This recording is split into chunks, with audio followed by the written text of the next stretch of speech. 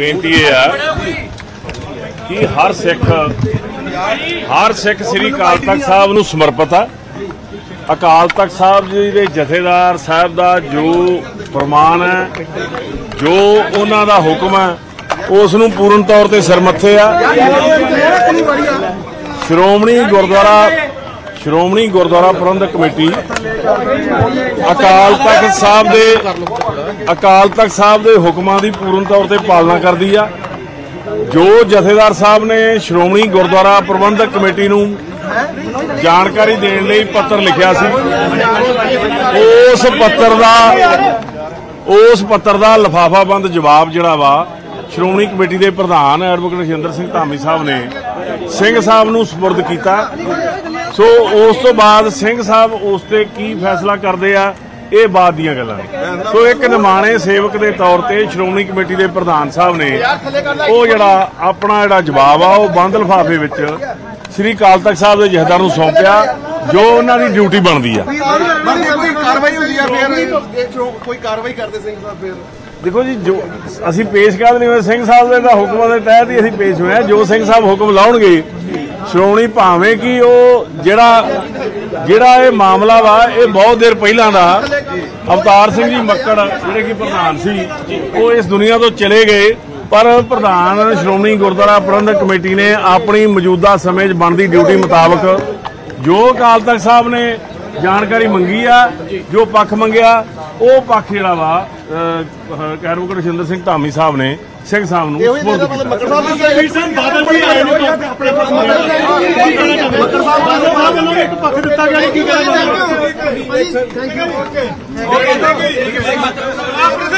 ਕੋਈ ਮੱਕੜ ਸਾਹਿਬ ਦੀ ਗੱਲ ਪਾਈ ਗਈ, ਐਵੇਂ ਗਲਤ ਨਾ ਰਿਪੋਰਟ ਕਰੂੰ।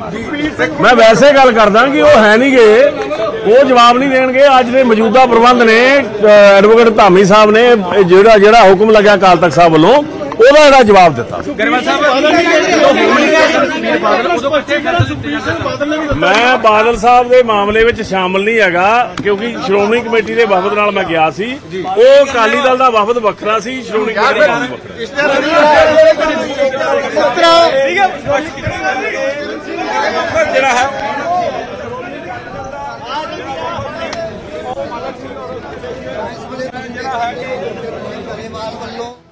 ਮਤਲਬ ਦੋ ਵੱਖ-ਵੱਖ ਸਪਸ਼ਟੀਕਰਨ ਦਿੱਤੇ ਗਏ ਨੇ। ਇੱਕ ਸ਼੍ਰੋਮਣੀ ਅਕਾਲੀ ਦਲ ਵੱਲੋਂ ਇੱਕ ਐਸਜੀਪੀਸੀ ਵੱਲੋਂ। ਬਿਲਕੁਲ ਵੀ ਕਿਉਂਕਿ ਜਿਹੜਾ ਇਲਜ਼ਾਮ ਲੱਗਾ ਸੀ ਕਿ 90 ਲੱਖ ਰੁਪਏ ਦੇ ਜਿਹੜੇ ਇਸ਼ਤਿਹਾਰ ਦੇ ਉਹ ਦਿੱਤੇ ਗਏ ਨੇ। ਤਾਂ ਉਸ ਬਾਰੇ ਗਰੇਵਾਲ ਨੇ ਸਪਸ਼ਟ ਕੀਤਾ ਕਿ ਜਦੋਂ ਕਮੇਟੀ ਦੇ ਜਿਹੜੇ ਪ੍ਰਧਾਨ ਸੀ ਉਹ ਅਵਤਾਰ ਸਿੰਘ ਮੱਕੜ ਸਨ ਜੋ ਕਿ ਇਸ ਵੇਲੇ ਇਸ ਦੁਨੀਆ ਦੇ ਵਿੱਚ ਨਹੀਂ ਹਨ। ਪਰ ਫਿਰ ਵੀ ਕਿਉਂਕਿ ਅਕਾਲ ਤਖਤ ਸਾਹਿਬ ਦਾ ਆਦੇਸ਼ ਸੀ ਔਰ ਮਾਮਲਾ ਐਸਜੀਪੀਸੀ ਦੇ ਨਾਲ ਜੁੜਿਆ ਹੋਇਆ ਸੀ, ਤਾਂ ਇਸ ਕਰਕੇ ਜੋ ਮੌਜੂਦਾ ਪ੍ਰਧਾਨ ਹੈ ਹਰਜਿੰਦਰ ਸਿੰਘ ਧਾਮੀ, ਤਾਂ ਉਹਨਾਂ ਦੀ ਇੱਕ ਜ਼ਿੰਮੇਵਾਰੀ ਸੀ, ਤਾਂ ਉਹਨਾਂ ਦਾ ਕਹਿਣਾ ਕਿ ਉਸ ਬਾਰੇ ਉਹਨਾਂ ਵੱਲੋਂ ਆਪਣਾ ਜਿਹੜਾ ਜਵਾਬ ਹੈ, ਉਹ ਦੇ ਦਿੱਤਾ ਗਿਆ। ਜਿੱਥੋਂ ਤੱਕ ਸੁਖਬੀਰ ਸਿੰਘ ਬਾਦਲ ਦੇ ਸਪਸ਼ਟੀਕਰਨ ਦਾ ਸਵਾਲ ਹੈ, ਤਾਂ ਉਹਨਾਂ ਦਾ ਕਹਿਣਾ ਸੀ ਕਿ ਸਿੱਧੇ ਤੌਰ ਤੇ ਉਹ ਉਸ ਦੇ ਨਾਲ ਜੁੜੇ ਨਹੀਂ ਹੋਏ ਪਰ ਇੱਕ ਉਹਨਾਂ ਨੇ ਹਵਾਲਾ ਜ਼ਰੂਰ ਦਿੱਤਾ ਹੈ ਕਿ ਜਿਹੜਾ ਵੀ ਨਿਮਾਣਾ ਸਿੱਖ ਜੋ ਅਕਾਲ ਤਖਤ ਸਾਹਿਬ ਅ, ਦੀ ਸਰਵਉੱਚਤਾ ਨੂੰ ਮੰਨਦਾ ਹੈ ਜੋ ਉਸ ਦੇ ਹਰ ਆਦੇਸ਼ ਨੂੰ ਸਿਰ ਮੱਥੇ ਅ, ਕਬੂਲ ਕਰਦਾ ਹੈ ਤਾਂ ਉਸ ਮੁਤਾਬਕ ਉਹਨਾਂ ਨੇ ਕਹਿਣਾ ਕਿ ਉਹਨਾਂ ਦਾ ਕਹਿਣਾ ਸੀ ਕਿ ਜਿਹੜਾ 15 ਦਿਨ ਦਾ ਸਮਾਂ ਅਕਾਲ ਤਖਤ ਸਾਹਿਬ ਵੱਲੋਂ ਸੁਖਬੀਰ ਸਿੰਘ ਬਾਦਲ ਨੂੰ ਦਿੱਤਾ ਗਿਆ ਸੀ ਕਿ ਨਿੱਜੀ ਤੌਰ ਤੇ ਉਹ ਖੁਦ ਅਕਾਲ ਤਖਤ ਸਾਹਿਬ ਤੇ ਪੇਸ਼ ਹੋ ਕੇ ਆਪਣਾ ਜਿਹੜਾ ਸਪਸ਼ਟੀਕਰਨ ਹੈ ਉਹ ਦੇਣ ਤਾਂ ਉਸ ਮੁਤਾਬਕ ਸੁਖਬੀਰ ਸਿੰਘ ਬਾਦਲ ਅੱਜ ਇੱਥੇ ਪਹੁੰਚੇ ਨੇ। ਔਰ ਜ਼ਿਆਦਾ ਜਿਹੜੀ ਗੱਲਬਾਤ, ਕਿਉਂਕਿ ਹਰਜਿੰਦਰ ਸਿੰਘ ਧਾਮੀ ਦੇ ਨਾਲ ਵੀ ਗੱਲਬਾਤ ਕਰਨ ਦੀ ਕੋਸ਼ਿਸ਼ ਕੀਤੀ ਗਈ, ਤਾਂ ਉਹ ਵੀ ਇਸ ਮਾਮਲੇ ਦੇ ਵਿੱਚ ਇਸ ਤਰ੍ਹਾਂ ਅਸੀਂ ਵਿਜੇ ਲਗਾਤਾਰ ਜਦੋਂ ਗੱਲਬਾਤ ਕਰ ਰਹੇ ਸੀ, ਤਾਂ ਮੈਂ ਉਸ ਵੇਲੇ ਹੀ ਇਸ ਦਾ ਜ਼ਿਕਰ ਕੀਤਾ ਸੀ ਕਿ ਇਸ ਪੂਰੇ ਮਾਮਲੇ ਨੂੰ ਲੈ ਕੇ ਸੁਖਬੀਰ ਬਾਦਲ ਵੱਲੋਂ ਕੁਝ ਵੀ ਜੋ ਹੈ, ਨਾ ਤਾਂ ਹੁਣ ਤੱਕ ਕਿਹਾ ਗਿਆ ਔਰ ਨਾ ਹੀ ਉਹ ਕਹਿਣਗੇ। ਤਾਂ ਉਹੀ ਗੱਲ ਬਿਲਕੁਲ ਅਸੀਂ ਕਹਿ ਸਕਦੇ ਕਿ ਸਪਸ਼ਟ ਤੌਰ ਤੇ ਨਜ਼ਰ ਵੀ ਆਈ ਸੁਖਬੀਰ ਸਿੰਘ ਬਾਦਲ ਅਕਾਲ ਤਖਤ ਸਾਹਿਬ ਦੇ ਜਥੇਦਾਰ ਨੂੰ ਮਿਲਣ ਦੇ ਲਈ ਅੰਦਰ ਜਾਂਦੇ ਨੇ 10 ਤੋਂ 15 ਮਿੰਟ ਅੰਦਰ ਜਿਹੜੀ ਮੁਲਾਕਾਤ ਹੈ, ਉਹ ਹੁੰਦੀ ਹੈ ਔਰ ਜਿਹੜਾ ਸਪਸ਼ਟੀਕਰਨ ਦੇਣ ਤੋਂ ਬਾਅਦ ਜਦੋਂ ਸੁਖਬੀਰ ਬਾਦਲ ਬਾਹਰ ਪਹੁੰਚਦੇ ਨੇ, ਤਾਂ ਮੀਡੀਆ ਨੇ ਕੋਸ਼ਿਸ਼ ਜ਼ਰੂਰ ਕੀਤੀ ਉਹਨਾਂ ਦੇ ਨਾਲ ਗੱਲਬਾਤ ਕਰਨ ਦੀ, ਪਰ ਕਿਸੇ ਵੀ ਸਵਾਲ ਦਾ ਜਵਾਬ ਜਿਹੜਾ ਉਹ ਸੁਖਬੀਰ ਬਾਦਲ ਵੱਲੋਂ, ਹਾਲਾਂਕਿ ਆਮ ਤੌਰ ਤੇ ਮੀਡੀਆ ਦੇ ਵਿੱਚ, ਚਰਚਾ ਦੇ ਵਿੱਚ ਰਹਿਣ ਵਾਲੇ ਡਾਕਟਰ ਦਲਜੀਤ ਸਿੰਘ ਚੀਮਾ ਅ, ਦੂਸਰੇ ਪਾਸੇ ਬਲਵਿੰਦਰ ਸਿੰਘ ਭੁੰਦੜ ਤਾਂ ਉਹ ਵੀ ਹਾਲਾਂਕਿ ਇੱਕੋ ਗੱਡੀ ਦੇ ਵਿੱਚ ਸਵਾਰ ਹੋ ਕੇ ਸਾਰੇ ਜਿਹੜੇ ਆਗੂ ਨੇ ਉਹ ਪਹੁੰਚੇ ਸੀ ਤਾਂ ਉਸੇ ਹੀ ਗੱਡੀ ਦੇ ਵਿੱਚ ਇੱਥੋਂ ਸਪਸ਼ਟੀਕਰਨ ਦੇਣ ਤੋਂ ਬਾਅਦ ਵਾਪਸ ਚਲੇ ਜਾਂਦੇ ਨੇ ਪਰ ਕਿਸੇ ਵੱਲੋਂ ਵੀ ਮੀਡੀਆ ਦੇ ਨਾਲ ਕਿਸੇ ਤਰ੍ਹਾਂ ਦੀ ਕੋਈ ਗੱਲਬਾਤ ਜਿਹੜੀ ਹੈ ਉਹ ਨਹੀਂ ਕੀਤੀ ਗਈ। ਔਰ ਦੂਸਰੇ ਪਾਸੇ ਇੱਕ ਹੋਰ ਚੀਜ਼ ਦਾ ਇੰਤਜ਼ਾਰ ਕੀਤਾ ਜਾ ਰਿਹਾ ਹੈ ਕਿ ਜਦੋਂ ਬਾਗੀ ਧੜੇ ਵੱਲੋਂ ਜਿਹੜੀ ਮੁਆਫੀਨਾਮਾ ਦਿੱਤਾ ਗਿਆ ਸੀ ਜਾਂ ਜਿਹੜੀ ਸ਼ਿਕਾਇਤ ਦਿੱਤੀ ਗਈ ਸੀ ਤਾਂ ਉਸ ਦੀ ਤਸਵੀਰ ਕੁਝ ਦੇਰ ਬਾਅਦ ਜਿਹੜੀ ਮੀਡੀਆ ਤੱਕ ਪਹੁੰਚੀ ਸੀ ਉਹ ਜਿਹੜਾ ਪੱਤਰ ਹੈ ਉਸ ਦੀ ਵੀ ਕਾਪੀ ਜਿਹੜੀ ਹੈ ਕੁਝ ਦੇਰ ਬਾਅਦ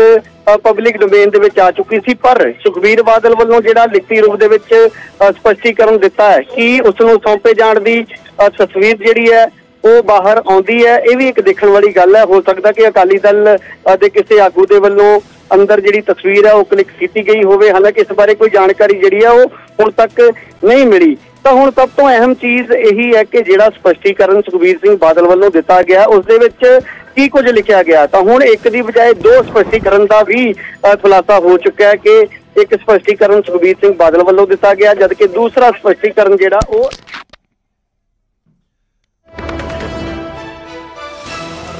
ਜ਼ਿਕਰ ਉਹ ਕਰ ਰਹੇ ਨੇ ਕਿ ਇੱਕ ਚੀਜ਼ ਕਲੀਅਰ ਹੋਈ ਹੈ ਕਿ ਦੋ ਤਰ੍ਹਾਂ ਦੇ ਸਪਸ਼ਟੀਕਰਨ ਦਿੱਤੇ ਗਏ ਨੇ, ਇੱਕ ਸ਼੍ਰੋਮਣੀ ਗੁਰਦੁਆਰਾ ਪ੍ਰਬੰਧਕ ਕਮੇਟੀ ਦੇ ਪ੍ਰਧਾਨ ਦੇ ਵੱਲੋਂ ਵੱਖਰੇ ਤਰੀਕੇ ਨਾਲ ਤੇ ਦੂਜੇ ਪਾਸੇ ਸੁਖਬੀਰ ਸਿੰਘ ਬਾਦਲ ਸ਼੍ਰੋਮਣੀ ਅਕਾਲੀ ਦਲ ਦੇ ਪ੍ਰਧਾਨ ਦੇ ਵੱਲੋਂ ਵੱਖਰੇ ਤਰੀਕੇ ਦੇ ਨਾਲ ਦਿੱਤਾ ਗਿਆ ਸਪਸ਼ਟੀਕਰਨ। ਇਹ ਪੂਰਾ ਮਾਮਲਾ ਬਾਗੀ ਧੜ ਦੇ ਵੱਲੋਂ ਕੀਤੀ ਗਈ ਸ਼ਿਕਾਇਤ ਤੋਂ ਬਾਅਦ ਸ਼ੁਰੂ ਹੋਇਆ ਤੇ ਹਰਜਿੰਦਰ ਸਿੰਘ ਧਾਮੀ ਇਹ ਕਹਿੰਦੇ ਨਜ਼ਰ ਆਏ ਨੇ ਕਿ ਮੈਂ ਐਸਜੀਪੀਸੀ ਦੇ ਵੱਲੋਂ ਜਵਾਬ ਦਿੱਤਾ ਹੈ 2015 ਦੇ ਵਿੱਚ ਜਿਹੜਾ ਘਟਨਾਕ੍ਰਮ ਹੋਇਆ 2007 ਦੇ ਵਿੱਚ ਜੋ ਘਟਨਾਕ੍ਰਮ ਹੋਇਆ ਤਾਂ ਉਸ ਨੂੰ ਲੈ ਕੇ ਬਹੁਤ ਸਾਰੇ ਕਿੰਤੂ ਪਰੰਤੂ ਬਾਗੀ ਧੜੇ ਦੇ ਵੱਲੋਂ ਕੀਤੇ ਗਏ ਤੇ ਹੁਣ ਅਹ, ਜਿਹੜੇ ਅਕਾਲ ਤਖਤ ਸਾਹਿਬ ਦੇ ਵੱਲੋਂ ਆਦੇਸ਼ ਦਿੱਤਾ ਗਿਆ ਤਲਬ ਕੀਤਾ ਗਿਆ ਅਕਾਲੀ ਦਲ ਦੇ ਪ੍ਰਧਾਨ ਨੂੰ ਤੇ ਹੁਣ ਅਕਾਲੀ ਦਲ ਦੇ ਪ੍ਰਧਾਨ ਸੁਖਬੀਰ ਸਿੰਘ ਬਾਦਲ ਅਕਾਲ ਤਖਤ ਸਾਹਿਬ ਦੇ ਅੱਗੇ ਪੇਸ਼ ਹੋਏ ਨੇ ਔਰ ਪੇਸ਼ ਹੋ ਕੇ ਆਪਣਾ ਪੱਖ ਇੱਕ ਤਰੀਕੇ ਨਾਲ ਰੱਖਿਆ ਗਿਆ ਲਿਖਤੀ ਤੌਰ ਦੇ ਉੱਤੇ ਜਵਾਬ ਸੌਂਪਿਆ ਗਿਆ ਸੁਖਬੀਰ ਸਿੰਘ ਬਾਦਲ ਹੋਰਾਂ ਦੇ ਵੱਲੋਂ। ਔਰ ਦੂਜੇ ਪਾਸੇ ਹਰਜਿੰਦਰ ਸਿੰਘ ਧਾਮੀ ਹੋਰਾਂ ਦੇ ਵੱਲੋਂ ਵੀ ਐਸਜੀਪੀਸੀ ਦੇ ਪ੍ਰਧਾਨ ਦੇ ਤੌਰ ਦੇ ਉੱਤੇ ਜਵਾਬ ਸੌਂਪਿਆ ਗਿਆ ਜੋ ਗੁਰਚਰਨ ਸਿੰਘ ਗਰੇਵਾਲ ਤੁਹਾਨੂੰ ਸੁਣਵਾ ਰਹੇ ਸੀ ਅਸੀਂ, ਗੁਰਚਰਨ ਗਰੇਵਾਲ ਇਹ ਜ਼ਿਕਰ ਕਰਦੇ ਨਜ਼ਰ ਆਏ ਕਿ ਕਿਉਂਕਿ ਉਸ ਸਮੇਂ ਜਿਹੜੇ ਐਸਜੀਪੀਸੀ ਦੇ ਪ੍ਰਧਾਨ ਵੱਖਰੇ ਸੀ, ਪਰ ਬਾਵਜੂਦ ਇਹ ਕਿ- ਕਿਉਂਕਿ ਐਸਜੀਪੀਸੀ ਨੂੰ ਰਿਪਰੈਜ਼ੈਂਟ ਕਰ ਰਹੇ ਸੀ, ਇਸ ਕਰਕੇ ਅਸੀਂ ਆਪਣਾ ਜਵਾਬ ਸੌਂਪਿਆ ਹੈ। ਅਕਾਲ ਤਖਤ ਸਾਹਿਬ ਦੇ ਅੱਗੇ ਪੇਸ਼ ਹੋ ਕੇ ਤਾਂ ਸਪਸ਼ਟੀਕਰਨ ਦਿੱਤਾ ਹੈ ਸਿੰਘ ਸਾਹਿਬ ਨੂੰ। ਸਿੰਘ ਸਾਹਿਬ ਵਾਚਣਗੇ। ਤਾਂ ਇਸ ਪੂਰੇ ਮਾਮਲੇ ਨੂੰ ਸਮਝੋ, ਕਿਉਂਕਿ ਐਸਜੀਪੀਸੀ ਦੇ ਪ੍ਰਧਾਨ ਹੈਗੇ ਨੇ ਮੌਜੂਦਾ ਸਮੇਂ ਛਰਜਿੰਦਰ ਸਿੰਘ ਧਾਮੀ ਔਰ ਸ਼੍ਰੋਮਣੀ ਅਕਾਲੀ ਦਲ ਦੇ ਪ੍ਰਧਾਨ ਹੈਗੇ ਨੇ ਸੁਖਬੀਰ ਸਿੰਘ ਬਾਦਲ। ਤਾਂ ਇਹ ਪੂਰਾ ਮਾਮਲਾ, ਕਿਉਂਕਿ ਜਦੋਂ ਬੇਅਦਬੀ ਦਾ ਮਾਮਲਾ ਸਾਹਮਣੇ ਆਉਂਦਾ 2015 ਦੇ ਵਿੱਚ ਜਿਹੜਾ ਘਟਨਾਕ੍ਰਮ ਵਾਪਰਿਆ ਕਿਉਂਕਿ ਗੁਰੂ ਸਾਹਿਬ ਦੇ ਨਾਲ ਗੁਰੂ ਗ੍ਰੰਥ ਸਾਹਿਬ ਜੀ ਦੇ ਨਾਲ ਜੁੜਿਆ ਹੋਇਆ ਤਾਂ ਐਸਜੀਪੀਸੀ ਸਿੱਧੇ ਤੌਰ ਦੇ ਉੱਤੇ ਜੁੜਦੀ ਤਾਂ ਹੈ ਨਾਲ। ਹੁਣ ਉਹਨਾਂ ਨੂੰ ਕਿਹਨਾਂ ਨੇ ਕਰਵਾਇਆ ਕਿਵੇਂ ਹੋਇਆ ਉਹ ਸਾਰਾ ਜਾਂਚ ਦਾ ਵਿਸ਼ਾ ਹੁੰਦਾ ਹੈ ਜਿਸ ਦੀ ਜਾਂਚ ਕਰੀਬ-ਕਰੀਬ 8-9 ਸਾਲ ਤੋਂ ਲਗਾਤਾਰ ਜਾਰੀ ਹੈ। ਔਰ ਦੂਜੇ ਪਾਸੇ ਅ, ਕਿਉਂਕਿ 2007 ਦੇ ਵਿੱਚ ਜਿਹੜੀਆਂ ਚਾਰ ਗੱਲਾਂ ਲਿਖੀਆਂ ਗਈਆਂ ਬਾਗੀ ਧੜੇ ਦੇ ਵੱਲੋਂ ਆਪਣੀ ਕੰਪਲੇਂਟ ਦੇ ਵਿੱਚ ਉਸ ਦੇ ਵਿੱਚ ਜ਼ਿਕਰ ਸੀ ਇੱਕ 2007 ਦਾ। ਜਦੋਂ ਡੇਰਾ ਮੁਖੀ ਨੇ ਸੰਵਾਗ ਰਚਾਇਆ ਅ, ਗੁਰੂ ਸਾਹਿਬ ਦਾ ਬਾਣਾ ਪਾਇਆ ਇਲਜ਼ਾਮ ਲੱਗੇ ਤੇ ਉਸ ਤੋਂ ਬਾਅਦ ਇੱਕ ਪਰਚਾ ਦਰਜ ਹੋਇਆ ਤੇ ਤਰਕ ਦਿੱਤੇ ਗਏ ਕਿ ਉਸ ਪਰਚੇ ਨੂੰ ਵਾਪਸ ਲੈ ਲਿਆ ਗਿਆ ਐਫ ਆਈ ਆਰ ਵਾਪਸ ਲੈ ਲਈ ਗਈ। ਉਸ ਨੂੰ ਲੈ ਕੇ ਵੀ ਗੁੱਸਾ ਸੀ ਉਸ ਦਾ ਜ਼ਿਕਰ ਹੈ। ਦੂਜਾ 2015 ਦੇ ਵਿੱਚ ਜਿਹੜੀ ਬੇਅਦਬੀ ਦਾ ਮਾਮਲਾ ਸਾਹਮਣੇ ਆਇਆ ਸੀ